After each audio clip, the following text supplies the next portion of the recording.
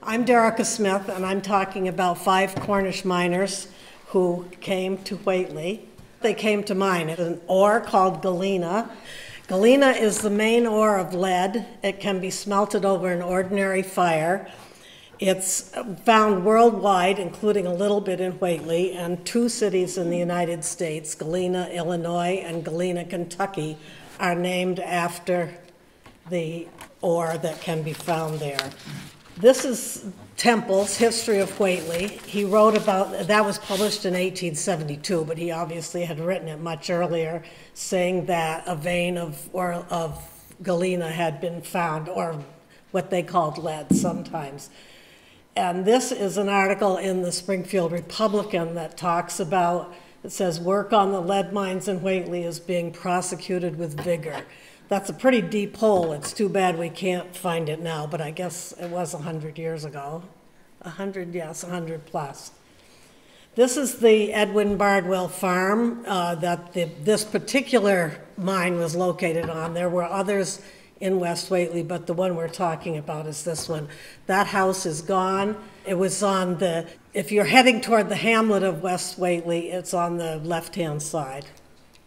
This is the 1865 state census, not, not a federal census. They were taken every 10 years.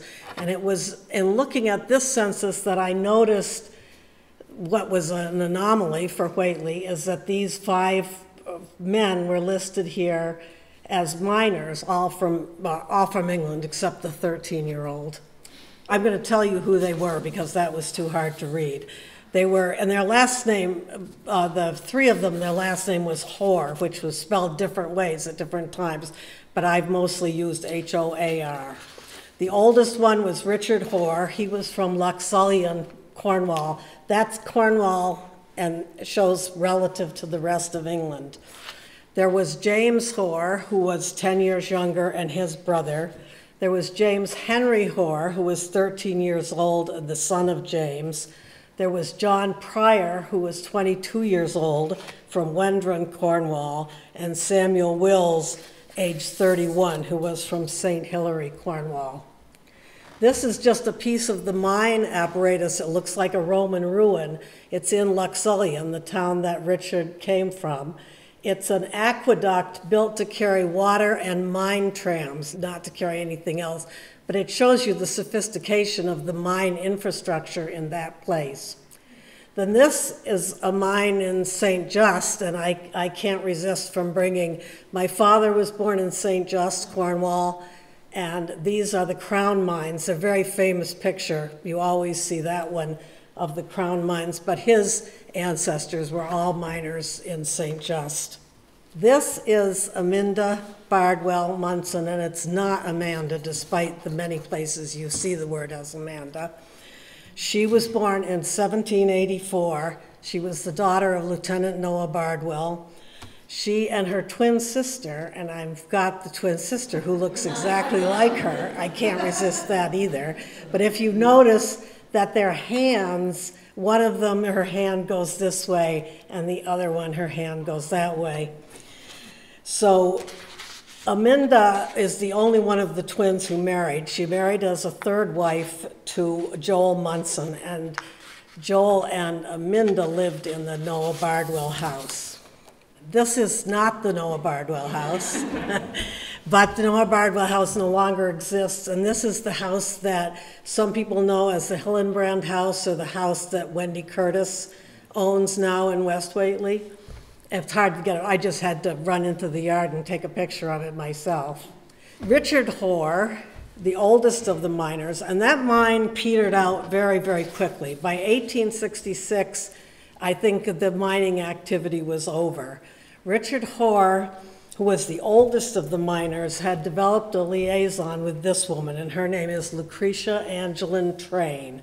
She was 31 years old. She was the youngest daughter of Roswell Train and she was 31 years old, and Richard Hoare was 47 years old, but she was pregnant, so getting married seemed like a good idea.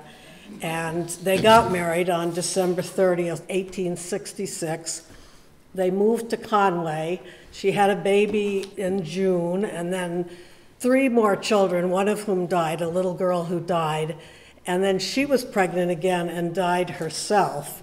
And at that point, the select board in Conway decided that Richard Hoare was not a fit father for a daughter, so they took the daughter away. Her name was Angelin after her mother. Took her away. She was adopted by people in Conway named Freeman, and she spent the rest of her life as Angelin Freeman.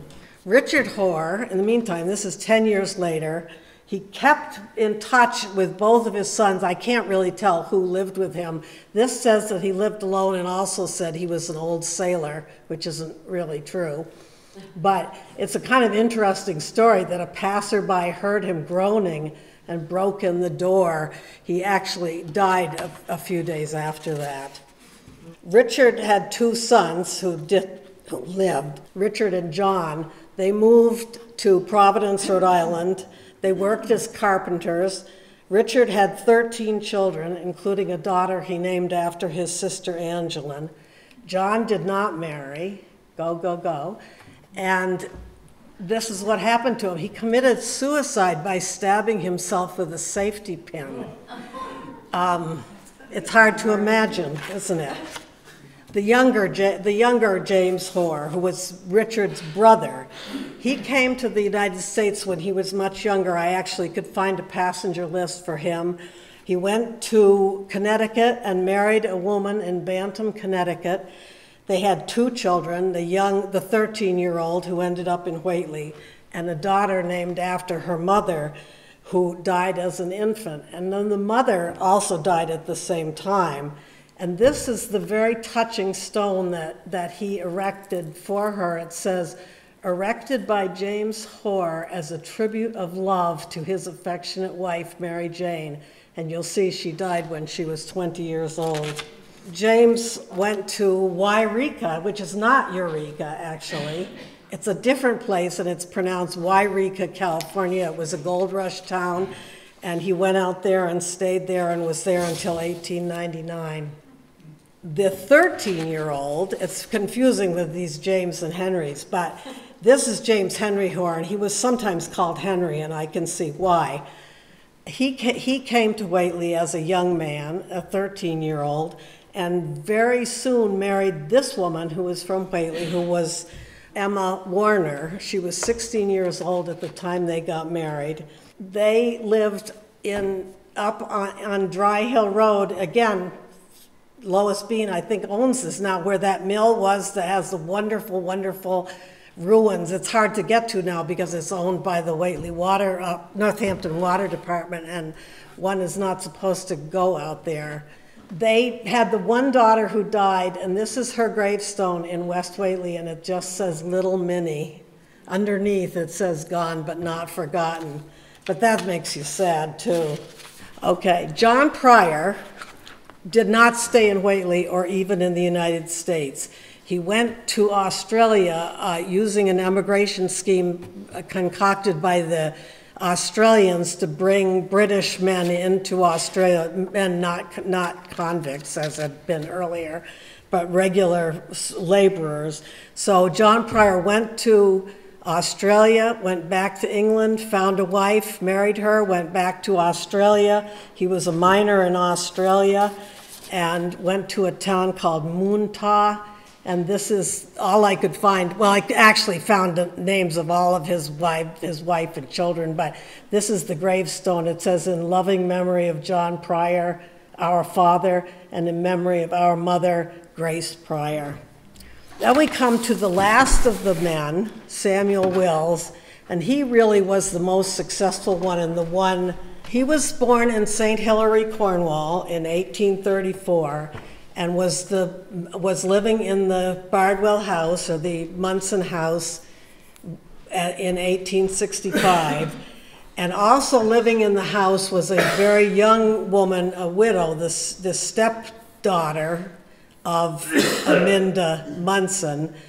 And she and Samuel Wills got married in 1866, the same year that Richard Hoare got married.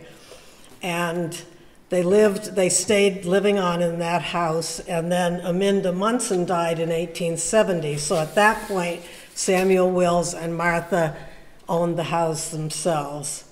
Martha died in 1804, 1904, sorry. Samuel Wills went to England to visit his relatives, and he was good friends with his next door neighbor, whose name was George Moore. And there's just a story that I couldn't resist telling, another sort of horrible story. When he came back from England, George Moore went to pick him up at the depot in Whately. And he got out of the sleigh, it was, it was wintertime, and he got out of the sleigh to go stand on the, wait for the train. And the horse bolted and got hit by the train and killed. And the sleigh got carried away and was found unbroken in North Hatfield, which seems amazing to me as well. But in any case, in June of that year, which is 1905, George, George Moore bought the Samuel Wills house, which originally was the Noah Bardwell house. And he clearly was not living there anymore because the newspaper, which was full of, all, basically full of little things telling you who was ill, is, uh, that, but Samuel Wills was ill at the home of George Moore. So then there was another article saying he was visiting George Moore. And then there was an article talking about William Strip. There were been strips in Whately for a long time since then, but William Strip parents and siblings came to Whately from England, and they all lived in the, in the Samuel Wills house. And I have been spending, I've been working in the Whately Historical Society since 1915, and for that whole time, I couldn't figure out ever what happened to the Noah Bardwell house. Oh, 2015, sorry. Yeah, I'm not that old. Um, I finally found an article saying that George Moore and his son were building a house on the Samuel Wills property. And so I was, I, and I'm sorry that we'd have no picture of the house at all.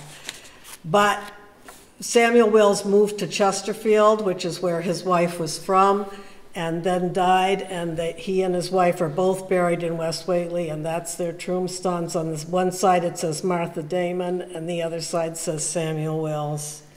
And that's the end of the, what happened to the miners of Whately.